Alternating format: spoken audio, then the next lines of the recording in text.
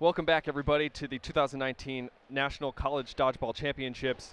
Um, I'm your host, Garb Hunnett. Um, I am joined with Colin O'Brien. Now, uh, you're going to be new to our hosting now. We Yep. lost Kevin to go do some more some more duties. Um, who'd you play for? How long did you play? Give me give us a little background yeah, on yourself. Yeah, for sure. So I played for Michigan State uh, from the years starting uh, 2020 2012 2013 season, um, ending uh, with the 2017 season. I came back for a half season in grad school, so I did four and a half seasons there. Nice. Um, and so five nationals. Uh, this is my second nationals now, not playing. Not playing. Yeah. Um, so you were a part of, if I'm remembering correctly, this Grand Valley reign. How does that feel? I mean, that's It's- got to burn a little bit, but does. you're We- excited for that reign to end. I'm sure I, for anybody. I am. So my my freshman year, we uh, we faced Grand Valley in the championship, and that was their uh, the start of this of this six peat. You know, they're going for a seven peat this year. Seven so, peat. Yeah, that was the, the first the first uh, the start of it, and then also my last year. So in 2017, we lost to Grand Valley in the finals. Um, after being up two at halftime, they were able to come back and, and win three two. So that hurts. I've been uh, I've been on the the, the, the bad side of uh, Grand Valley tw- two of these uh, six years now. So it's been it was rough, but um, you know, hats off to them. Just uh, that dynasty going. It's it's been strong. That's no kidding. No. How did you get involved in dodgeball? So uh, from a from a player standpoint, you know, you're you're coming into college. Yep. Um, you might have played a, a sport in high school, whether you played basketball or football or Yeah. whatever. Um, you're coming into the NC or your C maybe there's an NCDA team at your at your Yeah. college. How how was that for you? Getting involved in dodgeball was that sort of you were down immediately? For sure. So um, most schools have some sort of club activity fair, and at MSU we call it Sparticipation. You know, Participation. Spartan, Spartan, yeah. So uh, uh, I was just walking the tables there, and I saw club dodgeball. I thought, oh, that was interesting. I went to the first practice and just kind of fell in love. And uh, you know, the rest is history, as, as they say. Um, five years of college dodgeball later, seven years of playing dodgeball later. It's uh, You're you in. know, I'm, I'm, I was hooked, hooked from that first hooked. practice. Well, excellent. So tell us a little bit about what we're we're going to see for this next game. We've Yeah. got Michigan State and Ohio. So my alma mater The here, alma Michigan mater. State. Um, the very young team. Uh, some of their top players are, are sophomores, and, and they're the first or second year playing in the NCDA. So they've really ascended uh, quickly in terms of their overall talent. Um, uh, we lost a lot of people from the, my last year playing. Only five players of this roster of 18 um, are still on this team, but a lot of young talent. So the future's bright, but they're, they're saying who cares about the future? We're trying to play for the present right now. And then on the reverse side, we have Ohio, which they took the undefeated number one ranked team, Grand Valley, to overtime yesterday. Uh, and they lost in a very tight battle in overtime, where they had the, they had a three-two man advantage, and they uh, Grand was able to turn around with a big catch and then knock out the last two people. wow, But that's huge. So Ohio, you know, probably their best perf- showing ever, and uh, you know they're, they're they're coming in strong. They had a, a poor end of the day. They lost in overtime to, to UMD, I believe, but. Um, you know they're trying to they're trying to capitalize, knowing that hey, we can hang with any Michigan school. We just went to overtime versus Grand Valley. You They're know, feeling we, good. We can feel we can take out Michigan State here. All right, so they're look, pretty look for them. Look for them to, to come out firing. So what we're going to do here is actually we've got our teams lining up. Balls are being uh, placed on center court. Um, you're going to see uh, Michigan, Michigan State, or yep, and then and then Ohio uh, start to face off. Um, we still got a little bit of time left. Looks like we're having the captains meeting uh, center court.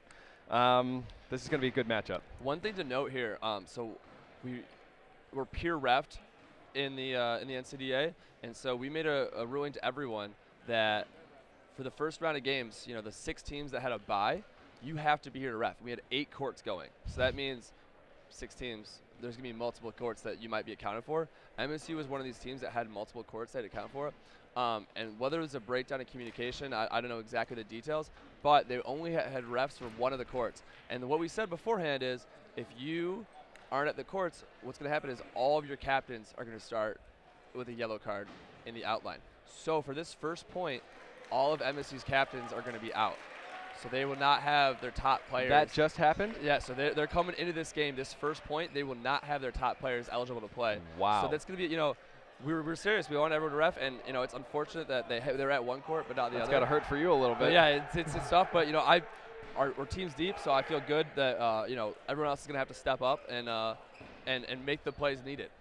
Excellent. So what we're starting out here is we've got both sides lining up 12v12 college dodgeball. If you're just joining us um, at the 2019 National College Dodgeball Championships, um, we're going to go over the NCDA rules um, as gameplay continues. Um, but right now we're going to have two teams vying for these balls in the center. They're rushing in. We're going to see what types of kills they can get immediately. Oh wow, that was quick.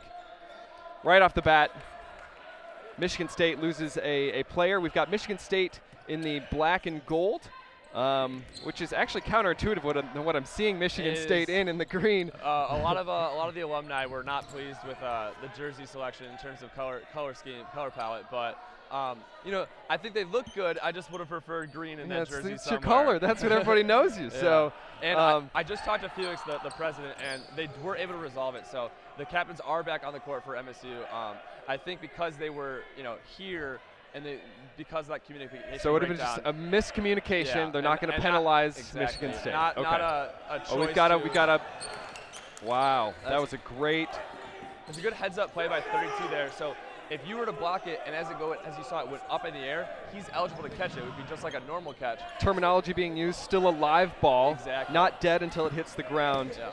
So he was he had his head on a swivel there, realized it popped up, could get a catch there. Now the difference between uh, a player catching his own deflected ball um, is that the opposing player that threw it is out, Correct. but on uh, if you were to deflect a ball and then another teammate catches it, Nothing players, happens. yep, player still happens. Yep. It's just the player's not out. Um, right. Yeah, so good heads up play there by 32. If, if another player ran and catch that, the thrower would have been fine, but he, he, had, he was uh, looking alive. Ooh, a nice catch there. Um, Lico catching number three Fleck for Ohio. Was that a Michigan State catch? It was. Okay, so that brings in number 24, who was the first out. He actually got out right at center court on just a quick. It wasn't even. I wouldn't even count that a throw. It was like a quick ball jab right to the chest. And uh, Weekland had a really good day yesterday. Uh, they ended up going to overtime versus UWP, and he tried to kill nearly eight minutes. He got down to about a minute and a half by himself. Um, he was about eight on one versus UWP, and he got him down to just two people, and, and eventually ran out of gas. But uh, he had a big day yesterday for Michigan State. Now, sorry to sound like a broken record for some of our more our fans on the live stream, but I do want to explain so how this how this works in terms of shot clocks. Um, you're going to get both teams um, needing to sh- throw a ball. Wow, that was a great out by Os- Ohio. On their captain, Um, Peyton Schuster. on their on Michigan's captain. You're going to need both teams to throw within a 15 second clock window. Big catch. Great catch Lucas by Walsh. Michigan State.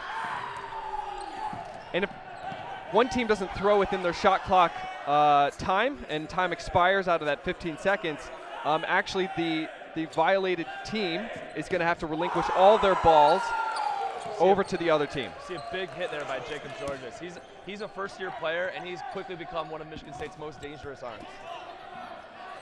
So we've got a little bit what seems like I don't know. It seems kind of even still. Um, Looks like. But eight- Michigan, eight for Michigan State on seven, Seven.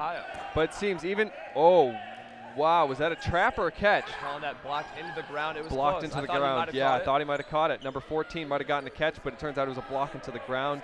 We've got Michigan State advancing here. Going to try to go for a team team throw. Only one only one throw going through. Another point on the shot clock is you have 15 seconds to throw if you have six or more people. That's true. But once you get to five or less people, You then the 10 shot clock now goes to 10 seconds. 10 second shot clock. What a great catch.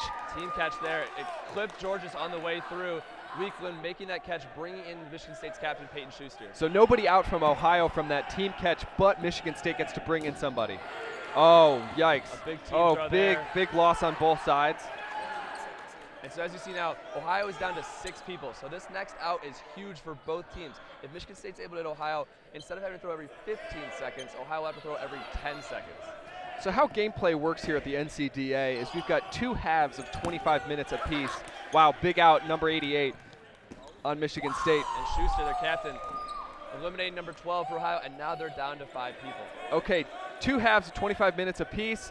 We've got both teams trying to eliminate the other team as many times as possible within that half to gain as many points as possible within that half.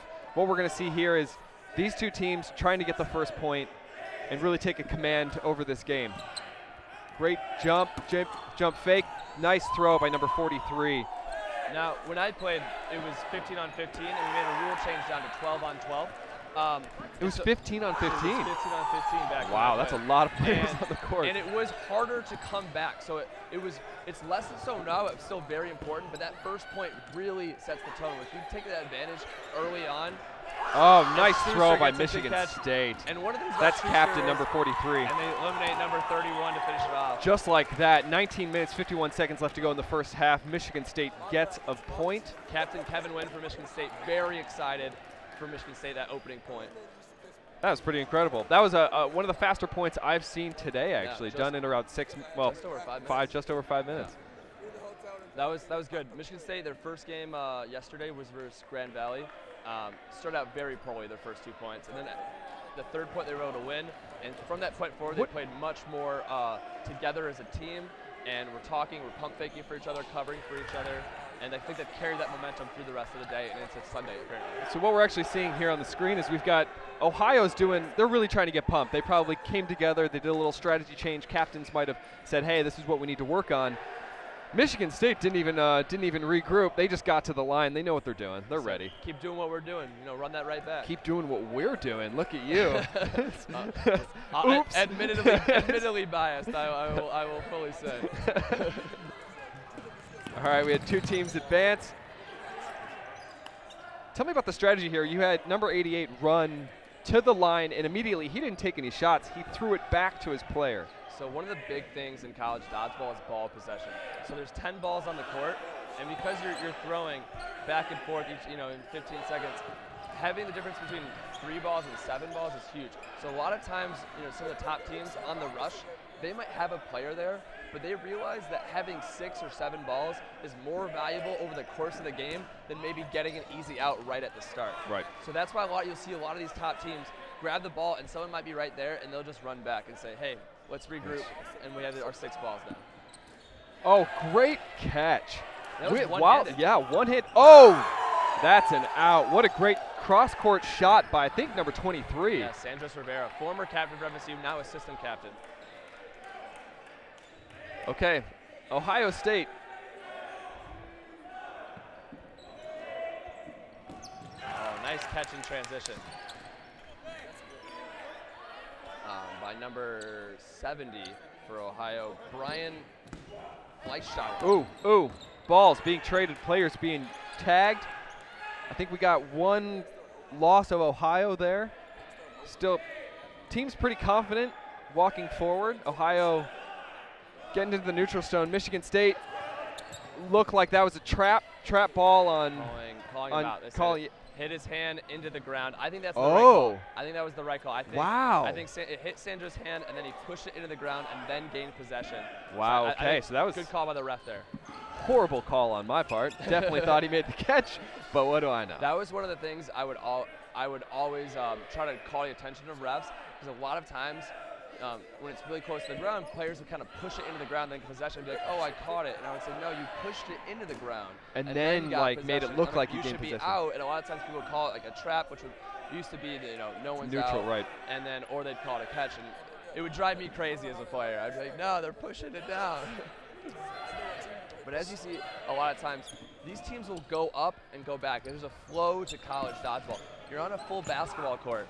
You're running up and down. The neutral zone is, is about 30 feet long with 30 feet throw lines. So you'll see Ohio moving up now as MSU's going back. And that opens up the transition game. Well, I mean, right off the bat, I, I mean, it just from the feel of it, Michigan State is being aggressive. I mean, they are commanding a presence here against Ohio. Wow, great kill. And I would say that's the biggest difference from those first two points versus Grand Valley yesterday. Grand Valley completely dictated what the pace of the game was and completely showed that, hey, we're pushing you back. And MSU from that point onward, about the second half, they said we can't have this anymore, and they're really showing it now where they're, they're dictating it, forcing Ohio back. Now, this looked like uh, one of the teams took a timeout, maybe Ohio. Um, teams will do that with, um, you know, just to try to see if they can halt the momentum. If they're really feeling like Michigan State's kind of being overbearing in some way, they're gonna they're gonna take a pause, take a breather, and say, hey, this is what we need to do to reset. I think maybe we even might be able to cut to a shot here of this of this group meeting that we're having one of the coaches. Is that was that a coach I was just looking Yeah, at? I think so. It might be, um, might be a former player or uh, or uh, a player's out. But yeah, it, during timeouts, only captains and, and coaches are allowed on the court besides the current players. And one thing I think about that timeout too was there was a ball that was perhaps within reach for MSU, but in the zone of Ohio. Oh, great catch. As a Jacob Number Jordan's 14. Nice catch as well. But if you call timeout and a ball is in your anywhere in your zone, you then get gain possession of it. So they called timeout, and MSU may have been able to reach across and get that, but they were All right, we got a player that. falling down on his. Oh! Oh! Almost able to. Squeeze that there in the chest. Sorry, I, I know for some viewers I might have just screamed into the mic. That was my fault. I got. I'm getting into this. 31 not able to hold on to the back pedal, eventually falling and not being able to keep track of that ball that was hit him in the hit him in the stomach. Lucas Walsh looking for a catch there, dropping to his knees. Oh, great hit right in the shoulder. Jacob Georges has been on fire this, this these two first two points for MSU. He's, And Howman's a great player, so it's not like that was an easy kill. no, his arms again just a first year player for Jacob is. So Oh wow. you know you gotta assume he's just gonna get better and better. And it looks like a balls over violation on Ohio. So that was a shot clock violation on Ohio. Um, looks like they're yeah they've got two two guys left. Um, means their shot clock's down to 10 seconds. So that's they need to keep they need to keep that communication going as a team. Make sure these guys are are not in the position that they are in now, where they are about to face an onslaught of Michigan State players fully armed. Here we go. Ohio State didn't throw within those 10 seconds, so the penalty for that is you forfeit all the balls to the other team. All the balls to one side. We got two players, one on his knees, getting ready to make a catch and gets out immediately. Not able to make a play on it. We've got a, a, a lonely num. Oh, oh my wow! goodness. Headshot. Peyton Schuster. Okay, in that's gotta hurt right in the face. Knocks knocked his glasses. hat, knocked off the glasses. And he's pumped. He's pumped. He did a Yeah, Michigan. Yeah, Michigan the State's huddle. got some. Wow, he's really he's Rivera coming off strong from getting out early on that uh, trap ball call. He's he's feeling better. Now, so that's now two points in under 10 minutes. For Yeah, Michigan that's State. that's this is Michigan State's really really getting some traction here, and that might have come from playing the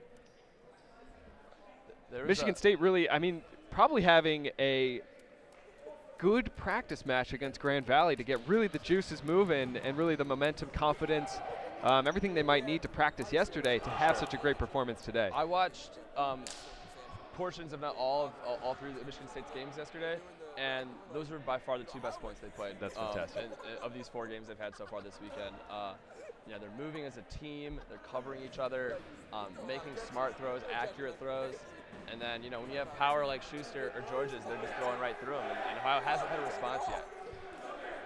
Okay, Ohio. They're doing the regroup, regroup, getting to the baseline. Michigan State again. No need for the uh, the team chant here. They're all pumped. They're ready to go. We got 88 right here. He's uh, he's ready to go. Now you never want to go down 2-0, obviously, but you know the, the bright side for Ohio is there's still plenty of time. Yeah, There's- lots there's of time. 15 and a half minutes left in the first half, and you have the entire second half. Yeah, So there's a know, lot of gameplay left. sometimes two points take 12 minutes apiece, and all of a sudden it's second half, and that's a lot harder. But you know, Wow, a lot of rushing coming in.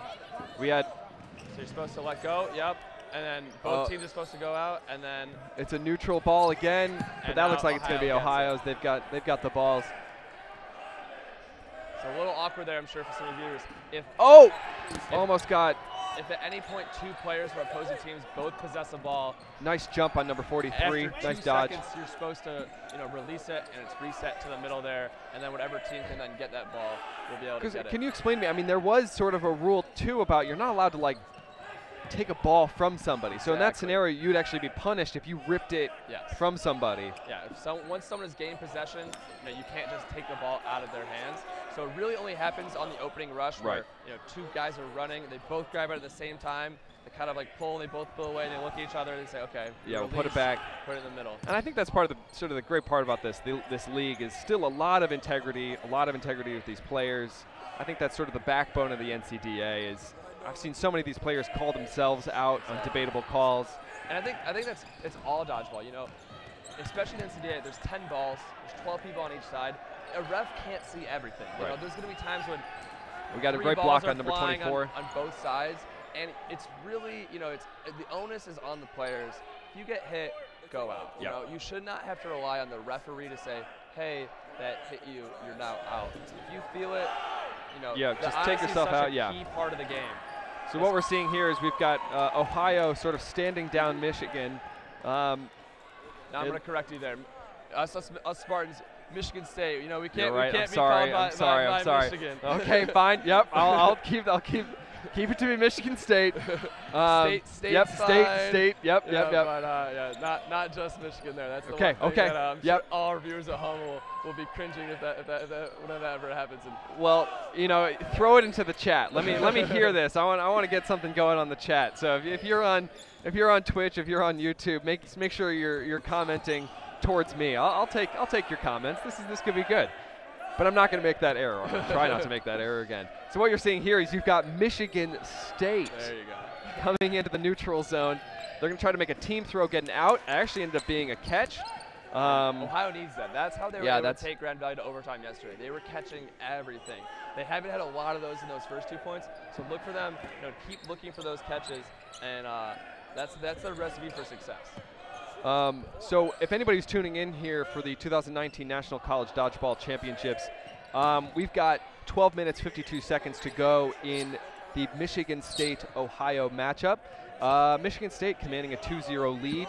Um, Ohio's got to come back and at least get a point in this first half. Um, Definitely started out better here. It's been about Yeah. three minutes since the start of this point, and uh, they, I think they only have two people out. So much better start for uh, the Bobcats here um, in point number three. oh,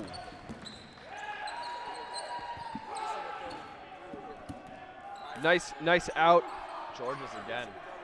He's on Yep. fire. Number 14 gets number three out on Ohio. All right, we've got push into the neutral zone here with Ohio. Nice throw. Oh, good. Good if you, dodge. If you look there, the right side of Ohio, they pump faked, which Peyton Schuster had to hold up. So that's that's a big part of, of college dodgeball is that team play. So he was looking on the right side, Schuster ready to throw. Oh, he didn't have to go for that reach. catch. That was a reach. reach. Howman going for the reach and losing it when it went through his fingertips. Luckily, he's going to be pretty pretty close in the depth of their jail, so he, we might see him again back on this point.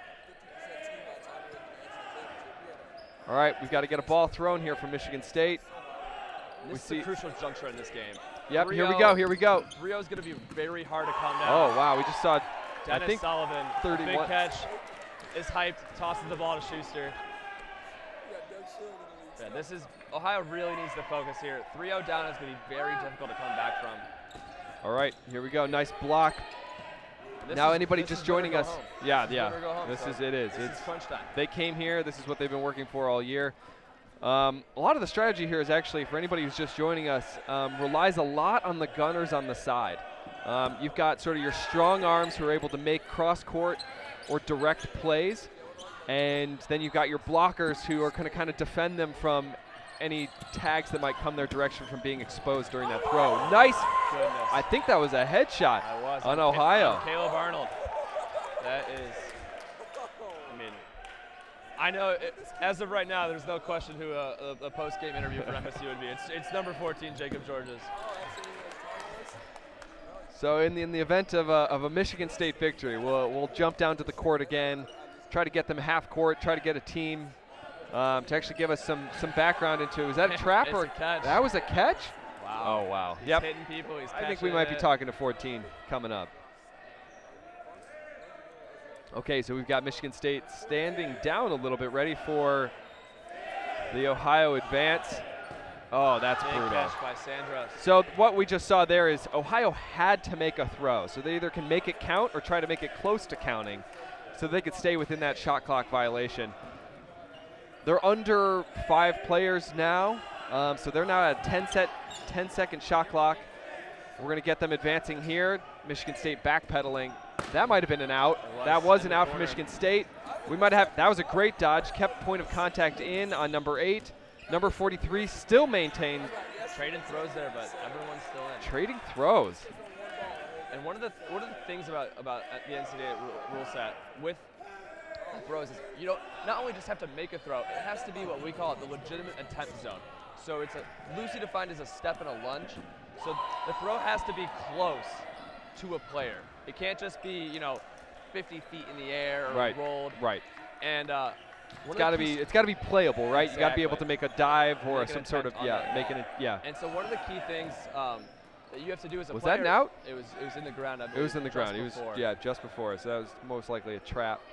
Is, is know when to you know, really try to hit someone, and when sometimes just to reset the clock. Yep. You know, you're not going to be able to make every throw hit someone. So sometimes you're go. just burning the ball, throwing it a little bit before someone's leg. Where if it hits them in the foot, awesome. But if, if, if nothing else, Oh. you're resetting your shot clock. That one, he's finally out there. Yep. Number six on Ohio out. I think we still got. I think we have 10 players on Michigan State. So right now it's 10 v 2. This is gonna be a brutal point. Oh, There's really no chance to out. outrun the clock, to outlast the clock here. It's got eight minutes left of gameplay. These guys are gonna have to start making catches to get their players back in. Nice catch by Lico there. Down to one Ohio player left. Good block in the corner. And then a nice hit. It starts with one. You know, you're not going to get 10 people out in one throw. So 32 here, trying to methodically work his way through. And you know, one on nine now, it's hard, but it's been done before many times. You know, our, our, our fellow e-board member Kevin Bailey's done a couple times. I've done a couple times.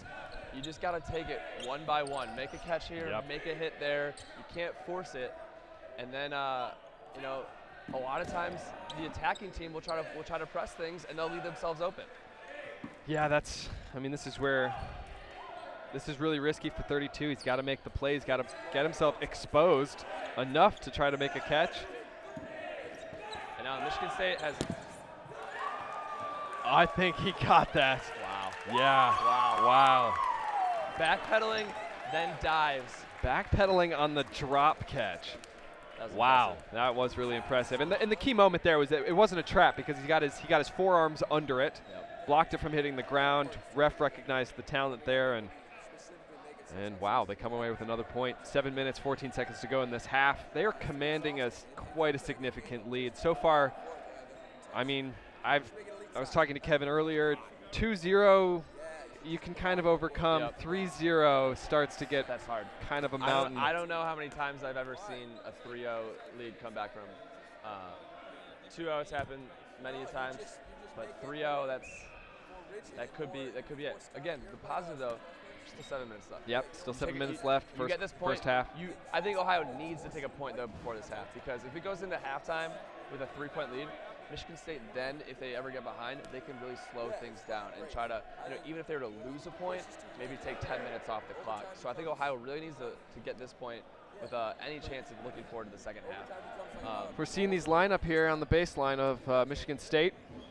be interesting to see when They they, uh, they're confident. if they start subbing some of their, their, their top guys out, give them a little rest. Because again, this is gonna be a long day. Got to win four times for uh, all, all the teams uh, who got a bye to win the championship. So This is uh, now we're seeing Ohio. They just came out of their huddle. Probably a new. Uh, nah, I wouldn't say new strategy. We don't know what their captain or, or coach was telling them, but it um, they're probably trying to regroup, really trying to get their confidence back after this 3-0 early deficit. and they started Um, well that last point. they did, started super well, confident. I think they just kind of got caught throwing a little bit too far, and MSU was ready for it and made some nice catches. Yep. Um, but yeah, MSU has put in a couple of their of their reserve players. Oh, now. nice. 88 again, throwing back to number 41 on Michigan State. Take You've got some. out in the rush. So Who did I miss? Is this Michigan State? Early 12-10 advantage for Ohio. But yeah, okay, couple, for Ohio. Good. A couple, Well, uh, couple new players in for Michigan State as they realize, hey, it's gonna be a long day. Let's keep our arms fresh. I didn't even think about that. Yeah. Yeah, so you can sub in players to sort of make sure everyone stays fresh and ready for the. Nice. And I'm, I'm sure, you know, if, if this trend keeps going throughout the rest of this game, um, a lot of the top players for MSU is are going to be sitting at least one point, if not more. Oh, a good. Thought it was a hit. Yep. Dennis Sullivan going out. Nice hit, And number he gave, eight. He gave the point saying, you know, good throw there by Ohio. He, he- real recognized real, as they say. Dude, I love it when these players are doing it. I watched uh, a Michigan State player get hit right in the chest on center court, and he immediately just gave immediate recognition to, hey, great throw, great play. Couldn't uh, couldn't defend against that one. So just to recap, anybody who's joined here uh, on YouTube, on Twitch, um, Facebook, we've got the 2019 Live National Dodgeball Championships. Wow, what a great hit on number 31. That was a great spot. Ohio really, really commanding a presence here on this point. They need, need, need a point in the next six minutes, um, five minutes and 48 seconds to actually potentially begin their comeback here in this game. So anybody who's joining again, um, we've got a great matchup here. Um, the NCDA tournament. Michigan State versus Ohio.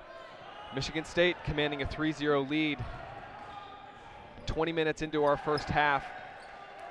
We've got another half coming up in which Ohio's going to need to regroup. Yeah. Really need to figure out a new strategy. Michigan State probably able to cycle out players to keep some arms fresh.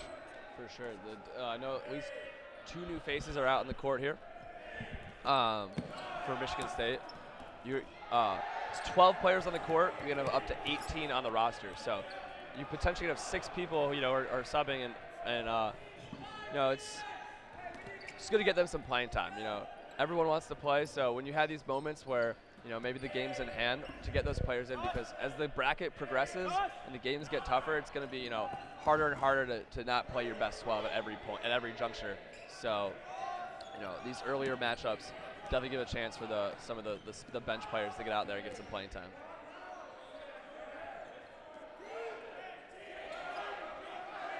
Only two balls for Michigan State now. Not getting a third one, but they'll have to, it's their turn to throw. So Ohio's got a ball advantage. They have a man advantage with four minutes left. Don't have to press quite yet, but it's got to be in their head. Okay, let's start making sure we got to move a little bit, a little bit faster than maybe they might want to in general. So is uh, we've got 14. Is he sitting out this game? Is He that what we're seeing? Yeah, he, okay. sa- he sat out. They gave him a little bit breather. He's you know been the force for MSU so far, and uh, and maybe maybe it shouldn't be surprising that Ohio's going to take a, a little bit of an advantage early in this point without Michigan State's best player so far uh, out on the court. okay, but we're seeing Ohio. I think he's out. I think they're calling ground there. I thought the same thing happened that hit, happened to the previous point, Right, where, yep. he pushed it into the ground, but they're saying it hit the ground first. So what we might not have seen on camera is we had a trap um, by one of our players against Ohio, but it ended up again nobody. It was a sort of neutral neutral throw. All right, we got Michigan State. Keep. Oh, great Caleb catch. Arnold looking for that Caleb one, wanted Arnold. it. I saw him playing yesterday. It was great. Another great Team throw on Here we go. This is where Ohio's got three minutes left in this half. They've got to pull it together, get the victory, get a point here. Six um, players left for MSU. Yeah, they've still got some work to do because six, six players, MSU, this they still can hold their own. Trying to catch 30 sleep in there, but He's, able to on avoid it. point 23. Let's see what. Oh, we got a block on 23. Here we go. Number 55 But running in five. Number three was looking for the catch there. He had a, a ball in his hand initially. Thought uh, may have thought the other team's gonna thought, think he's gonna go for the block. He then dropped it looking for that catch. Yeah, they want to bring back a lot of play. Wow, what a great dodge catch. on I think they're calling a 31. team catch there. Schuster's upset, and and Captain Kevin Wynn is, is, is saying, hey, let's let's settle down a little Settle bit. down. And Schuster's a very uh, like the passion, but yeah. very emotional player. Um, Let's keep the passion, but not at up. the officials. yes. Good hit there. What would happen in the event of uh, some overheating of a player? Is Yeah. that that could be a red card? That could, be, a yellow, card. Yeah, most more likely than not, it's going to be a yellow card. Okay. Um, you know, if you ever, you know, excessive, uh, you know, uh, disrespect or, or vulgarity, direct, especially directed at either opposing player or an official, Yep. um, that could be that be grounds for a red card. Okay. And, And, a red card would be pretty then- devastating to a yeah, the- player. The, That's penalty for a yellow card is that player is out the rest of the point, and your team plays a man down the, the remainder of that point. so you can't get him back out from jail. Correct. He's out of jail, Say- so you're down. Say he was at the start of a point, you had nobody in jail, and then he's out, and you make a catch. That player cannot come back in. Right. And then a red card is not only can that player not play the rest of the game, but then that team plays a man down the rest of the game. So you would play with 11 people the remainder of that match.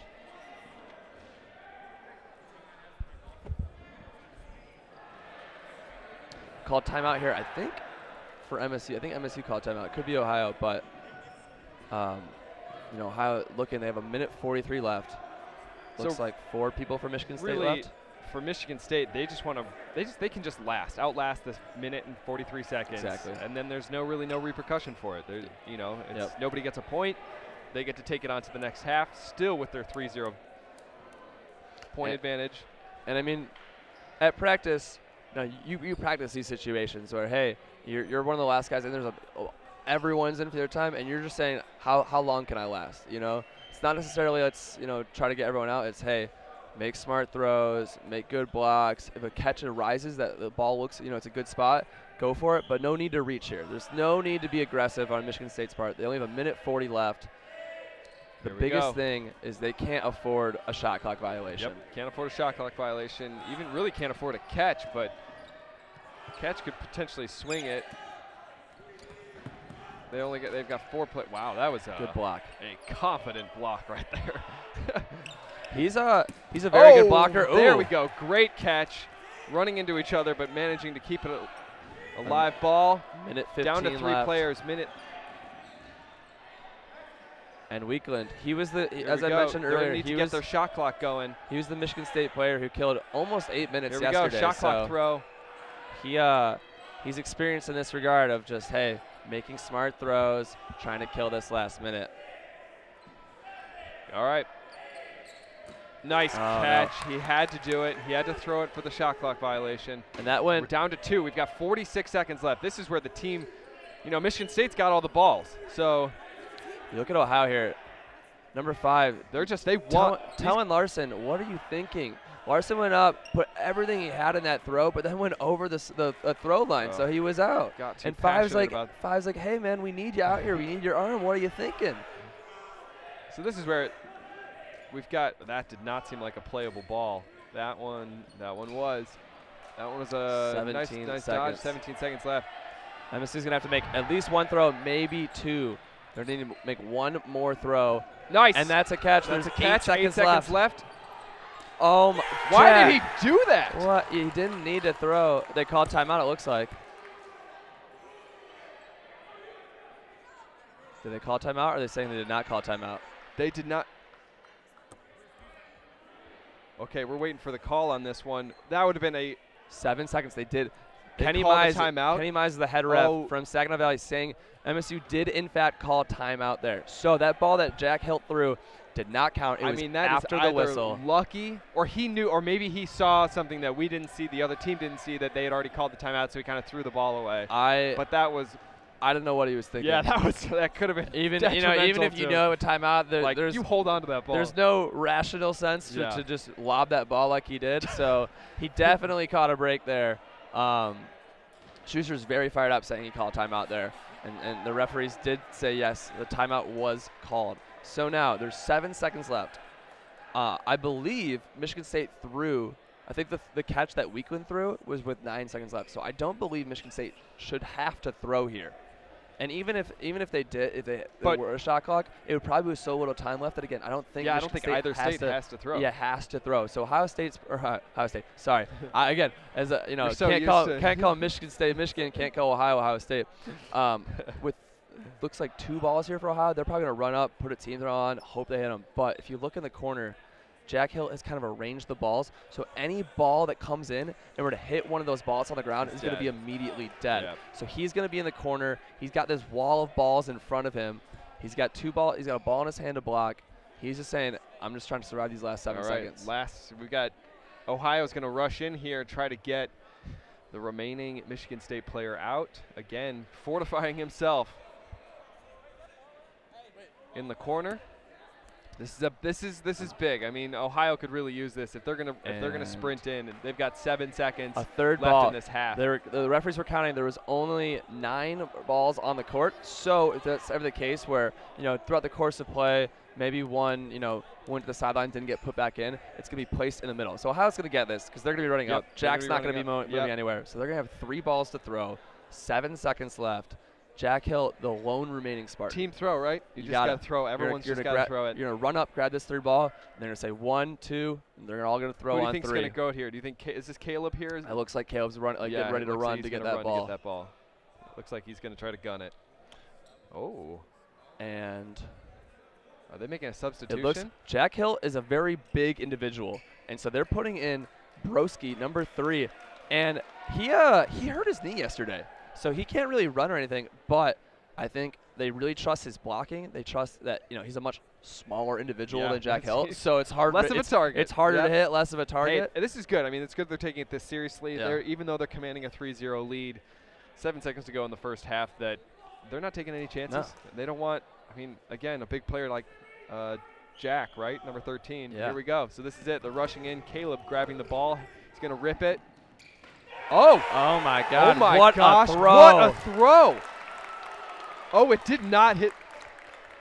I agree. With the I referee. agree. I think it I hit him. agree. I think Definitely it think it hit him. I think it hit him and then hit With the balls that knocked away. 0.5 seconds to go in the first half, Ohio manages to get that point that they needed in order to maybe, maybe summit that deficit. That is huge. Yeah.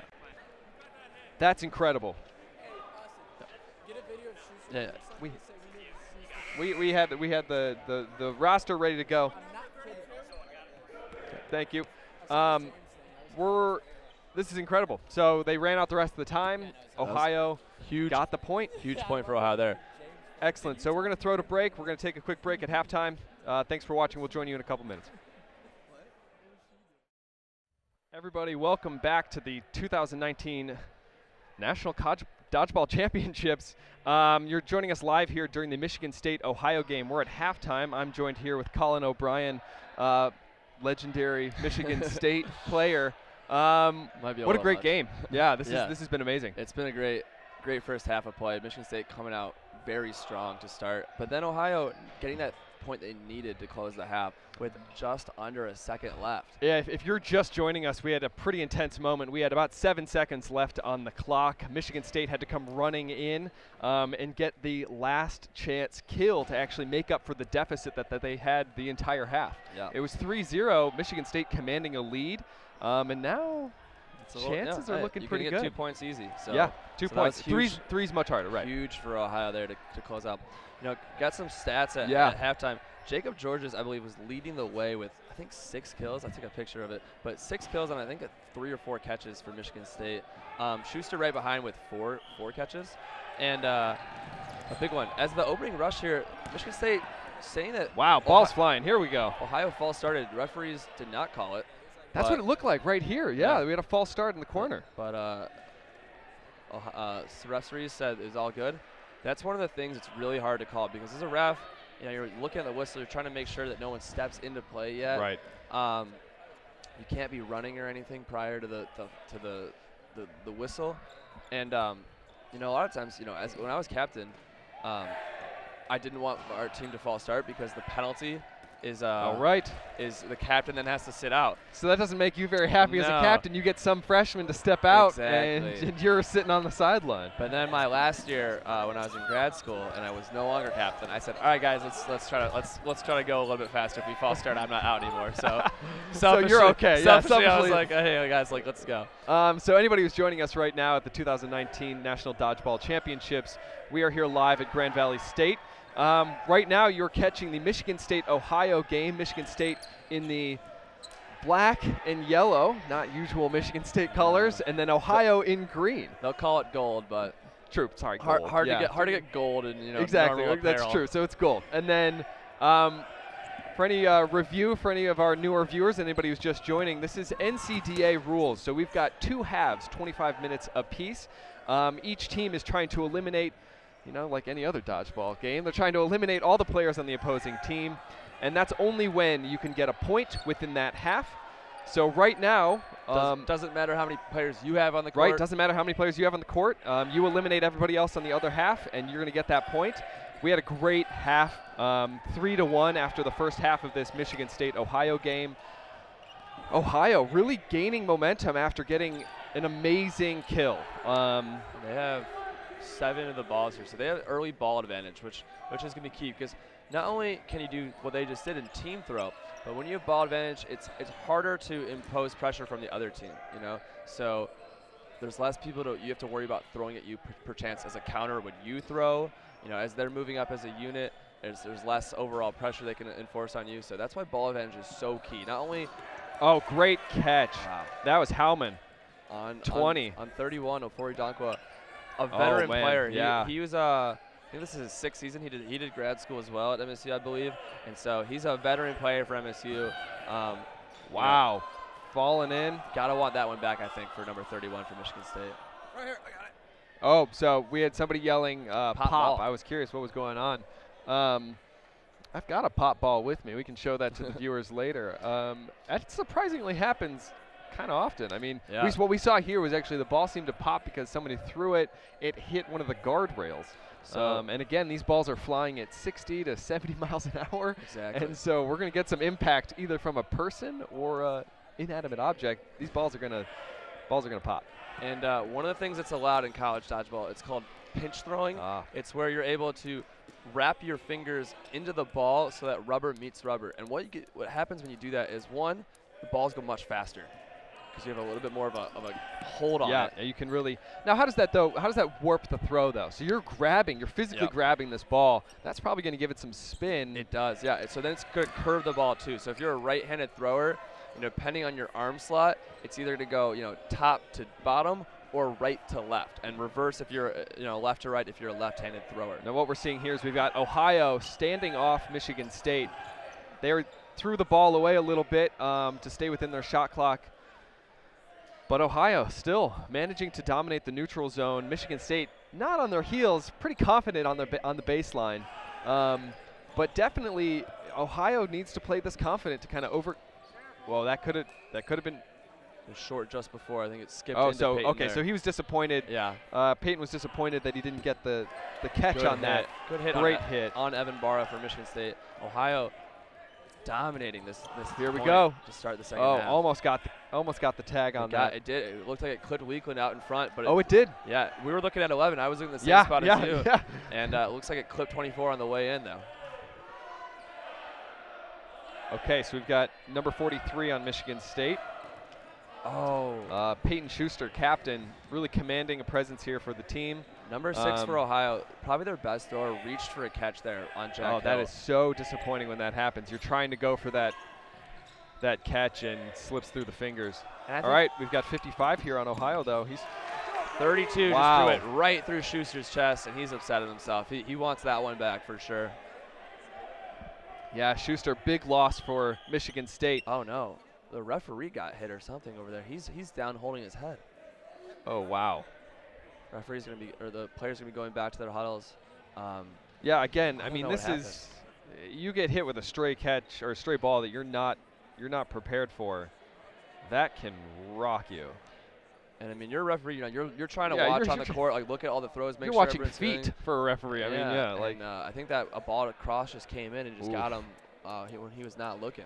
again, 70, 70 mile an hour rubber ball. Yeah. That is not going to leave be a mark. pleasant. They, They leave a mark. a mark. Many of bruises I've had in my time. I watched somebody yesterday, these balls. um, or we were talking about yesterday, that uh, some brutal hits, one to the face. You can be backpedaling, take one to the neck. exactly. Turn That's- around, unfortunately, take one to the back. That one's that one's filled with a lot of shame, but um, that the thing is too, those hurt more than anything. You're you don't have a lot of padding in your back, and you think like, oh, I don't want to get hit in the face, and then you turn and it hurts so much more in the back than it does anywhere else. I, I still think it's a little bit of shame. It's the shame element that's that's increasing the pain. Yeah. All right, we've got Ohio standing down. The Michigan two, three players coming in.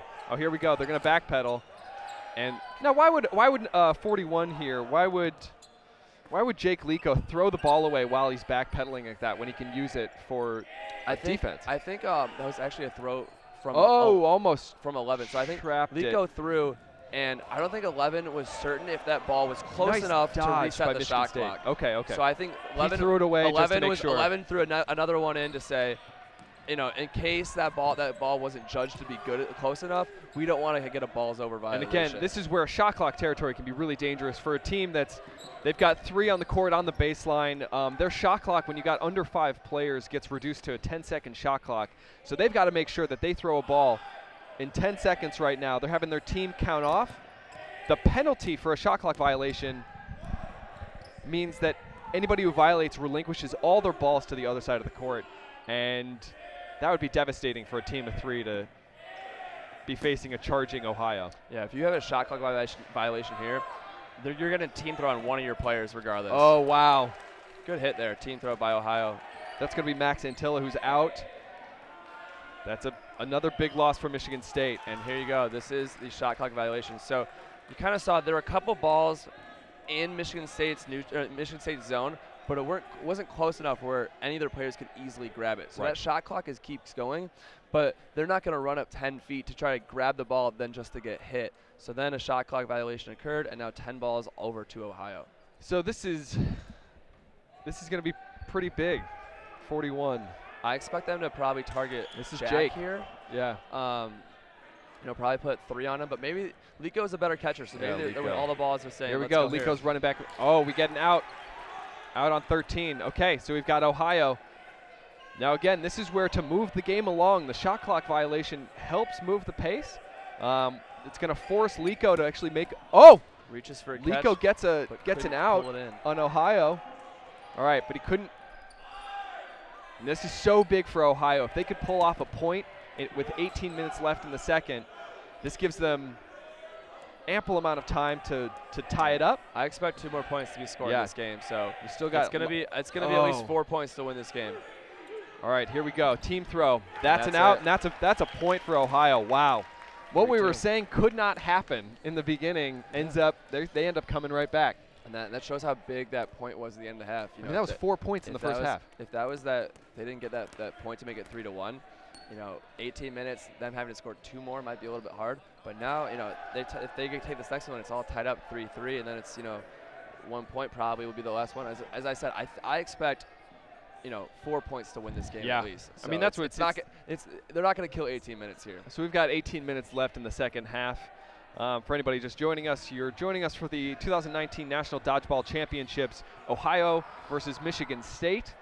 Great game. What we what we thought was actually going to be kind of in the bag is ends up being a really a really good game. And, and Um, the tables have, have turned. You know, Ohio now is the one really pumped up, Yeah. really excited. You know, they're, they've taken two points in a row, and MSU's looking a little more solid. Right before we were seeing MSU on the baseline, super confident Yep. before they were just they were always getting pumped up, and now they're actually having these team huddles Yeah, they're and they're- making sure that okay, how how do we gather our composure, gain the momentum back, and actually sort of make sure that Ohio doesn't come back to tie this. I think the biggest thing these last two points is Ohio's taking an early advantage. It's been Michigan State down to about eight people within about a minute of the of the point starting. So I think that's probably got to be a point of emphasis here for the Spartans.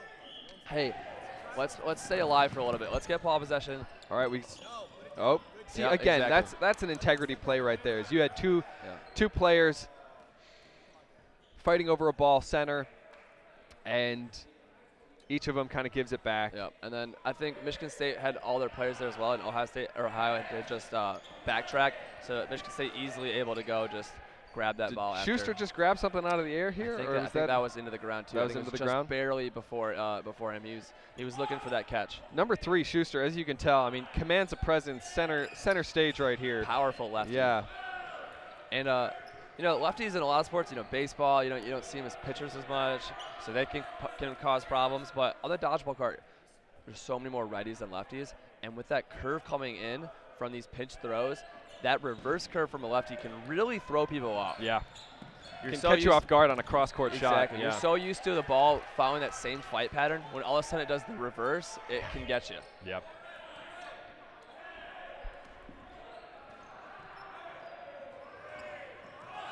Oh, that's a good look from Ohio number 32 there on the cross. That's one of the things where you see a, t- a, a team member backpedaling and you're trying to throw it behind them, so they kind of backpedal into your cross, and he Yeah. just put it a little bit too far behind him there. Peyton throws so hard he falls down. He's putting that's some heart and soul throw right there. That is essentially all on the line because if you get caught on the ground, that's. Uh but what is interesting, so actually earlier before it might have been, you know, the call in this game is they they've taken they earlier they took out their best player, one of their best players, Yeah. number 14, Georges. Um, Georges was taken out. It's a long day of dodgeball, so they're going to try to rest his arm. And oh, that's on a catch. Georges out on a catch. Oh, good block there by Lucas Walsh. And so they're going to try to rest some of their best players to actually let them advance. But what that did was let Ohio actually catch up. It's always a tightrope you have to walk. yeah, it was Georges who got them the three-point lead. Exactly. It's yeah. always a tightrope where you want to rest people, but the game's not over yet. You kind of nice have block. to you gotta judge like okay. Oh, he wanted know, that. He wanted that catch. Where when when can we kind of ease up a little bit yep. and not and not keep going all out. Oh wow! That was an incredible Schuster. all hands catch by Larson. Yikes! That, Schuster let that one get away from him, and Larson really took advantage of that. Oh, here we go. Standoff. Shot clock going. Here we go. Ohio's going to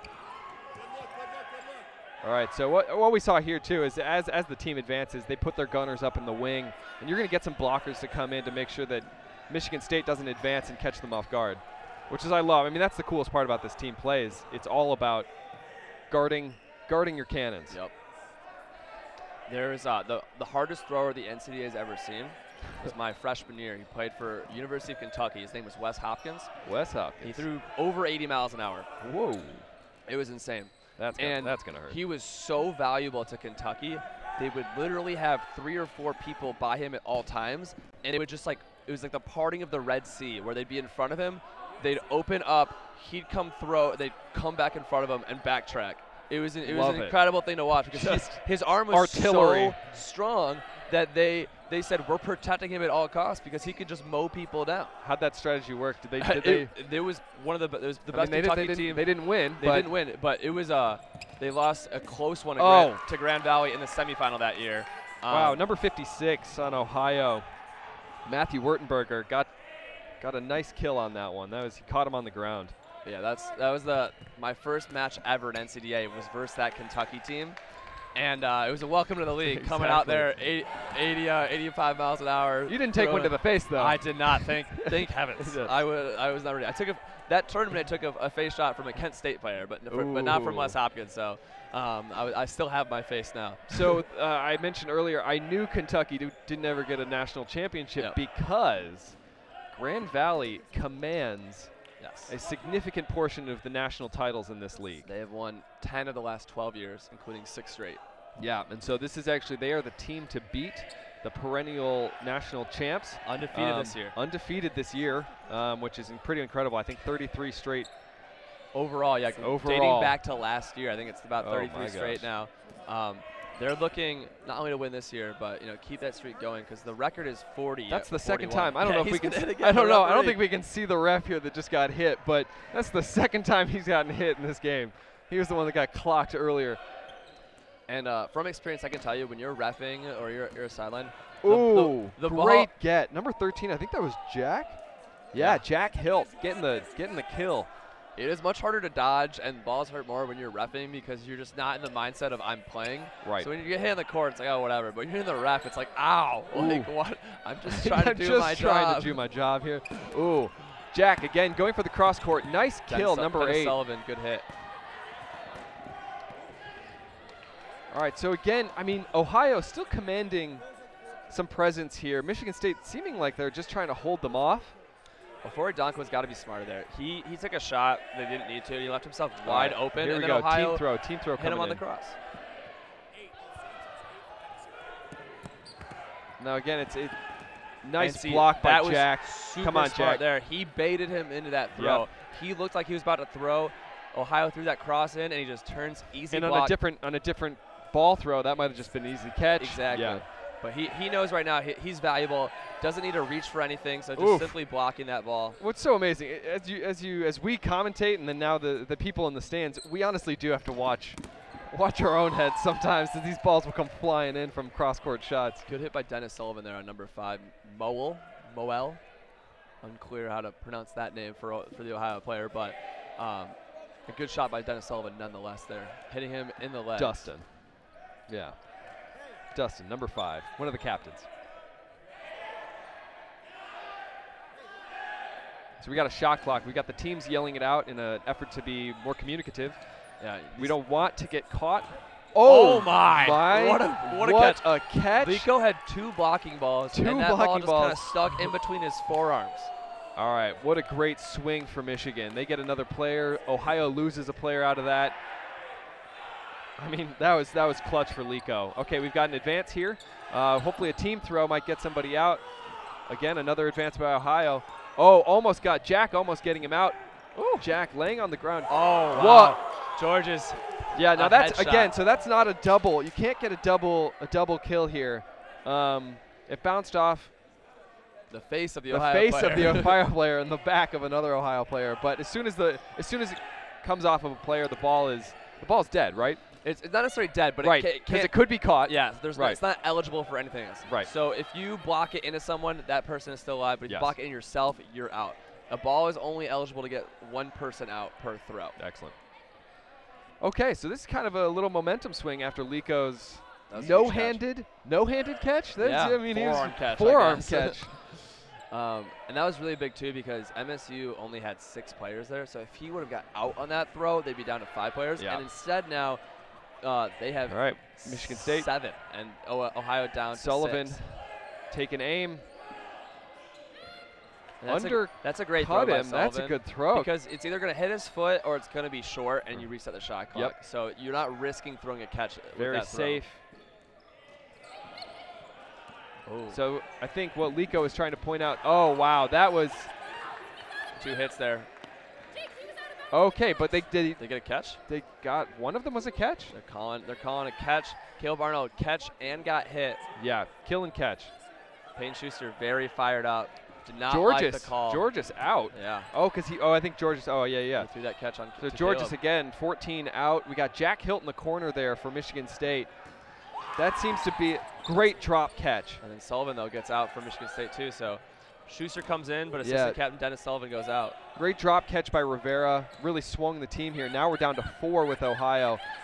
That's something Rivera's Um, really improved upon. He was, he was uh, on my team when I played, um, and his catching has gotten much better these last two years. I mean, this is. Oh. And So what you saw here, so number 50 on Michigan, he had to try to make a play on it, but he needed to keep all points of contact within the field of play. Or not all points, one point of contact within the field of play, Correct. and then he couldn't quite stretch Yeah. for it. Sorry, yeah. Oh my. Oh, good, oh, Good. And right there, Oh, he's right able to keep his foot in, but Able to keep his foot in. they fouled up Number 31. Daniel Dunkwa. Wow. Oh, good dodge. Wow, great dodge.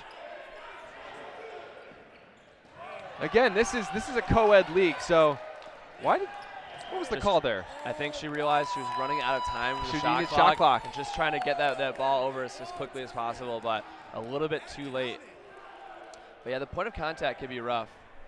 Um, there was one time I was I, I jumped in the air and I realized I was kind of falling out of bounds, and I only I kind of just had to throw my leg out, and I just landed completely on my side, uh, like horizontal to the ground, and it, it was painful, but I kept that point of contact Yeah. in. Now we might have our numbers switched up on our end, but I'm, I'm hoping this is this is Rebecca. no, that's not for Michigan State. That's the uh, oh, sorry. There we go. Okay, perfect. Um, Yeah, Rebecca Chappelle has been a, a okay, good. This is Jennifer State, McLuhan. Okay, so Jennifer managing to dodge five balls. including a suicide throw from Peyton Schuster. So he oh, he so he jumped, jumped. up and to get closer and then threw. Has oh my incredible dodging. So Jennifer McLuhan really, really taking on Michigan State. She's going to have to make a make a catch here to bring somebody else in, but she's holding she's holding strong here. I love this. This is she's scrappy. Let's do this. Okay, let's see. a She's going to need to make really a catch. Yeah, too. catch could make a turn. You might have catch come in. There's only five players left for Michigan State, so a catch right, would Jennifer. make it 4v2. You've got a lot of people rooting for you. Except Colin. Yeah. So I'm sorry. Colin's not rooting for you. Colin. Oh! I root Jennifer. For, I root for great plays. So Okay, if great she would have plays. caught that, Yeah, I would have okay. been I would have been just as hyped. Uh, even though it would have been the expense of, of my alma mater. Jennifer taking it to the face too a little bit on on one of those. That one she's gonna need some time. All right, so that was a big get. That, was, an incredible effort, though. that was a, from that was an Jennifer. incredible effort. Dodging, I mean, that- close to 20 balls throughout Four- the course of four that, those shots. last minutes. Four shots with a suicide throw in there. Um, and we're gonna get some updates while we wait for these uh, these baselines to reset. And, and Um, that 4 4 2 now, that might be that might be it. With 7:23 left, um, it's going to be really Yeah, hard. that's gonna be hard to for- overcome for that Ohio deficit. to come back and get two points. So Colin, go ahead and read us some of these updates that we're getting. yeah, from halftime, um, Miami was up 2-1 over UWP. Uh, UMD. Can you give a little context too on yeah, some of these? Yeah. So Miami of Ohio and uh, Wisconsin Platteville. Wisconsin Platteville had a good game. They won their first one. Uh, Miami is currently the fifth seed. So a close game. Platteville's been showing a good tournament this year. So They, they're uh, trying to make today. Miami earn it. Yeah. Okay. Um, Maryland up 3-0 over uh, VCU. VCU nine people. They went to three overtimes yesterday. I have a soft spot for Maryland right now because we've been staying in the same hotel. Yeah. So like uh, Maryland's come a long way. They've got a long journey ahead of them, but uh, they're a group, good group of kids. So I'm, I'm really excited for them. Yeah. I I think VCU just might be out of gas. They have they have nine Yeah, people. yeah. Three overtimes yesterday. That means your top six are doing three clutch points. And let me tell you, overtimes. It's like playing three points. The amount of the drain it goes on you Yeah. because it's, it's a 10 second shot clock, and with just six people, Yeah, you're it's 6v6 constantly in overtime. running up and down. Yeah. So it's really draining. I think yesterday probably just caught up to them. They had some great wins. They, they beat Is CMU. Is there a shift mentally when you're adjusting now to new boundaries in that 6v6? Have, has anybody ever made that mistake of realizing, oh shoot, I stepped out too early? well, it's the same. It's the same full court size. It's just there's only six of you. So I mean, it's like got it. Okay. um, We've got some great outs here. And um, Michigan State getting the ball possession off the rush, hitting someone, and so it's Ohio's throw, and uh, this uh, a great start if you're a Michigan State Spartans fan to uh, to this last this seventh point of this match. And it looks like they're just kind of trying to play it slow. Oh my gosh, he caught that. That's a catch. That's a, that's a catch. Another one by Jacob Georges. He's thrown a couple of these last two points, but he's been on fire. Yeah, he's coming back into his element here. Ohio really needing to pick it up. Uh, oh, we got a good team catch. Team catch. Nice. Oh, Great team catch in the corner there. Kobana was saying, "Let me catch that," because Yes. if Kobana had caught it, they would have gotten an, an it would have been a normal a normal catch, and the thrower would have been out. But because Sandro's caught it, Kobana stays in, but uh, the thrower is not out. Yeah, so that- really, Ohio needs to. they need to play fast. they need to play faster, more aggressive potentially, the hard thing is to come over this 4 2 that too, deficit. But when you're in these situations, you have to play fast. But that doesn't mean throw all your balls because when the other team gets ball possession at such a large number like it is now, you can't you can't really do anything Right. because if they have eight people, you only have two, so you only have one person to help protect you. They can hit you in transition. So playing fast is you have to run up, throw, and get get the other team to kind of engage in that back and forth quickly, as opposed to just we're gonna walk.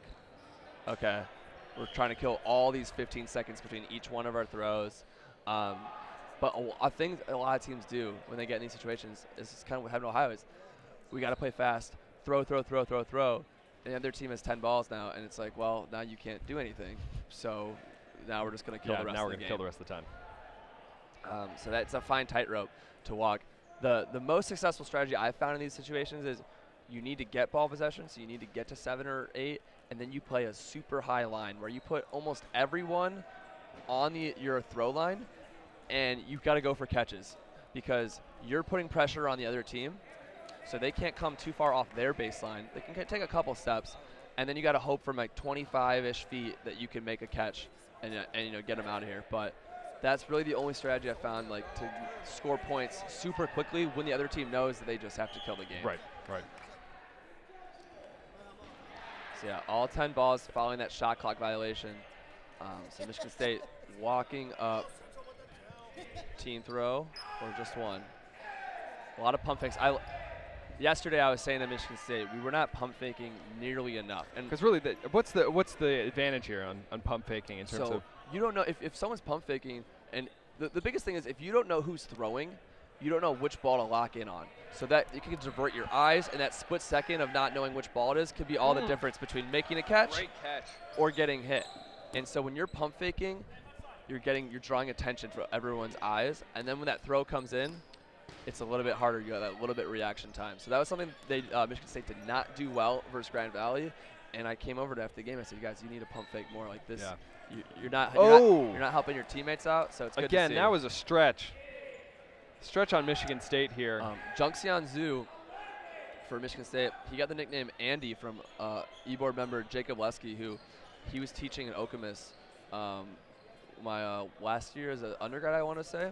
And um, he gave he gave him the nickname Andy. He says, "Is, is that cool?" He says, "Yeah." He goes, "For sure." And so uh, we always we just called him Andy from that point Andy, forward. classic. Um, I mean, the last kill we've seen here would have been through a catch. Um, on number five, Dustin Mole, the captain, one of the captains of Ohio. We've got Michigan State coming in here strong, trying to get a team throw going, get a get another tag. Yeah, I think they're just. I use tag, kill. What's the other hit? I mean, those are sort of all all, interchange- interchangeable. I think Michigan State's content just to Whoa, trying to go for the to trying to go for the catch. I think they said we we got four minutes left. We're up two. Team catch. Oh, There's no need No, to, no. Do, to be too aggressive. yeah. I mean, this is up to Ohio to kind of make sure that they're not they're not going home after this. They need to get. Oh, good hit. Wow, great hit. Number 12 from Ohio. Wow, that was fantastic. That's a great Gregory spot. Sterenberg. George's is uh, says the game might be almost over, but I'm gonna still shine a shoe real quick. Yeah, so that was 31 on MSU, who tried to make the catch and then end up falling right through, right through. Um, yeah, Daniel Donkwa.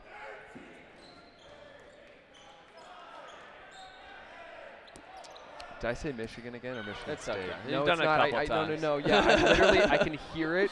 You like, you take a beat and you're like, it hurts you every time. So I'm gonna It's- try. it's better- Michigan State. I know. We've we've had over the last you know probably five to, to eight years in, in football and basketball. We've had you know we've had the success where Oh, it, it happens far less. When I was growing up, you know ESPN would always say Michigan, and it'd be like, come on. come on. You're- But we've got- that's gotten to the point ESPN. I'm trying to get to the Yeah. point where I don't make that mistake. Exactly. Yeah. We've gotten to the, uh, you know, as, as a as a as a university, it's gotten to the point now where sometimes you know. The announcer will misspe- misspeak and say Michigan State when referring to Michigan. Or so that's when it's yeah, like I was that's- like, the day has come. the day exactly. so again, we've got our Jennifer McClune here on Ohio, staying strong, staying in play. She is able to dodge incredibly well, as we saw in the after the or before the previous point. But Georges coming here at number 14 on Michigan State.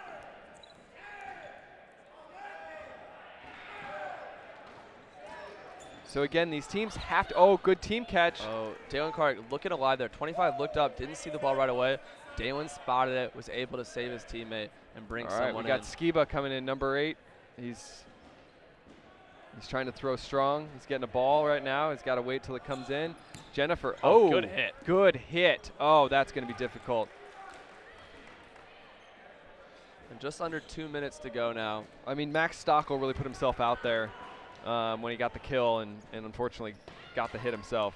It looks like and look at this, State's Jennifer. Wow, look at the reaction time from Jennifer.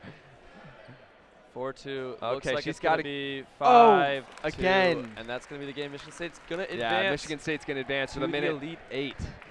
Minute 35 left in the second second half of this Michigan State Ohio game. Uh, yeah, looks That's- like Michigan State's going to advance to the Elite they're Eight. calling it. They are. They're calling it there. Shake Okay. hands. And uh, Michigan State advancing to play Maryland, I believe, in the Elite Eight. So really, this is what um, We're all we're all striving this for. is what this is everyone's everyone's striving for. Um, it's this. It's this. This is This the cup. championship cup. So, um, Colin, I'll leave it to you. I'm going to go uh, join down on the court. sure. Get uh, who who should we talk to? I think for sure Jacob Georges. He was he was Georges, yeah. outstanding that game, um, lighting people up, making some incredible catches. Uh, no doubt in my mind, he was the MVP for Michigan State. That's incredible. Okay, so let's do. Let's talk to Jacob. Um, I'm gonna let you take over here. We're gonna we're gonna hopefully run you guys through some replays. Yep.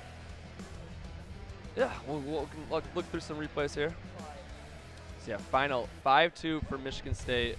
Um, as, a, as a former Spartan, I'm a happy man. Looking forward to get a couple more wins today. Hopefully, uh, hopefully three more. All right, so right here, Dennis Sullivan, a, a good throw there. 28 for Ohio. Oh, that was the Peyton Schuster hit, knocking his hat off, knocking his glasses off.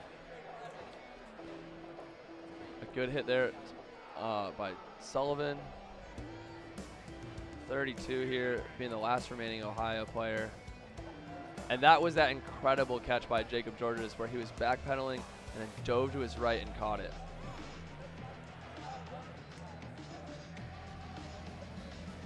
Yep. Uh, that was when we went right through Peyton's chest. And uh, yeah, so moving forward, we're at the Elite Eight now. So we have eight teams remaining, and this is really where the competition gets pretty steep. Um, Michigan State, Maryland, Grand Valley, all advancing. Uh, I know it looks like Miami won as well, so they they punched their ticket to the Elite Eight. Um, and we're gonna have some great matchups moving forward. These these these four games all being simultaneously. Uh, great dodge there by Jennifer on that replay, dodging five balls and a suicide throw from Peyton Schuster. Um, but I think we have the uh, Miami game, if CMU won as well, coming next on this court.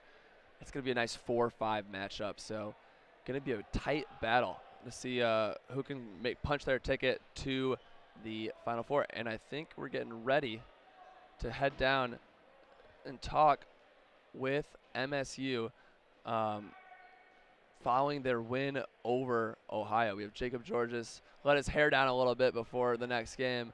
Um, getting ready here.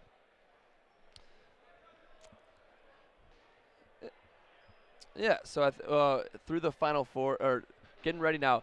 Final Four is something everyone wants to get to. You know, it's it matters in basketball, it matters in hockey, and it matters in dodgeball. So these next matches are going to be huge. Towson University looking for their first Final Four in their club history. Miami as well, looking for their first Final Four, I believe.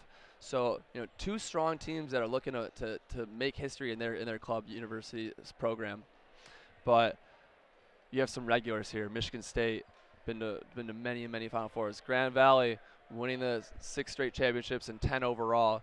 Um, I don't think they've ever not been to a Final Four. So uh, we're definitely going to have some strong competition here in the Elite Eight, and uh, hopefully some incredible matches for everyone watching at home.